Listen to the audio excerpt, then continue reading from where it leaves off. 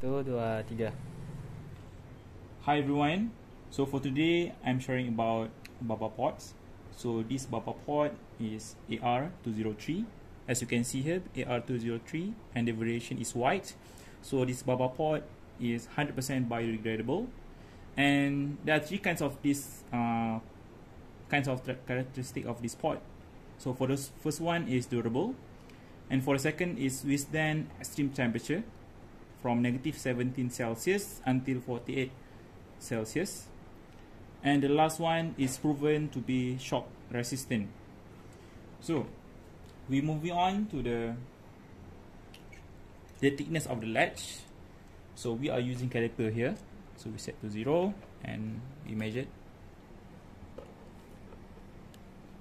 So as you can see there, um, the thickness of this latch is around 16 mm so equivalent to 1.6 cm.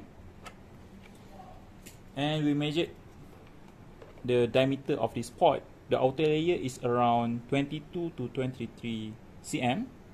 And the inner layer is around 20 cm. So for the bottom diameter is around 12 to 13 cm. And the depth of this pot is around 18 cm.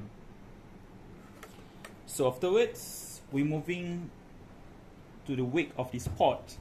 So we wake this first. So for the weight of this pot is around 180 uh, gram. But if we put um, soil in it, the weight become 1.8 kilo.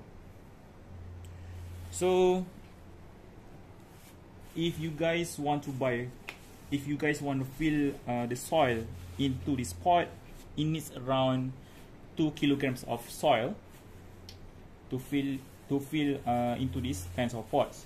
And we are using so in Rimbun Sekebun we are using veggie mix so this is the actual size of this um, packing of this veggie mix soil as you can see here. But this one is the repack version which is 1 kilogram.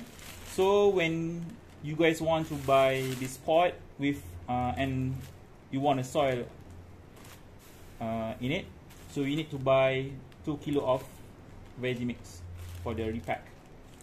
Alright. I think that's all. Thank you